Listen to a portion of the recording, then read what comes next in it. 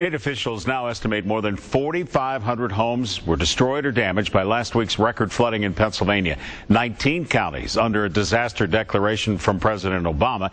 And even if you're not in one of the counties included in that federal disaster proclamation, you can still seek federal assistance if you have flood-related damage. Gary Sinderson has more on that tonight. If you're one of the many cleaning up from last week's high water, you're urged to document what your losses are, even taking pictures or video of the damage. And it doesn't matter if you don't have flood insurance, you can still get financial help through the Federal Emergency Management Agency. But most importantly, you need to report the damage or have your property inspected.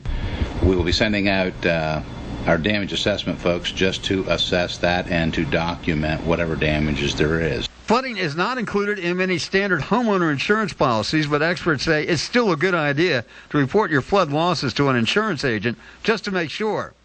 Plus, it's possible the president will be naming more counties to be included in the federal disaster declaration. In Centre County, Gary Sinderson, WJAC TV News.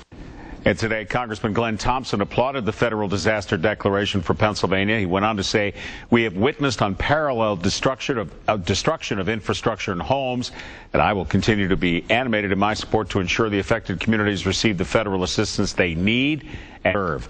The American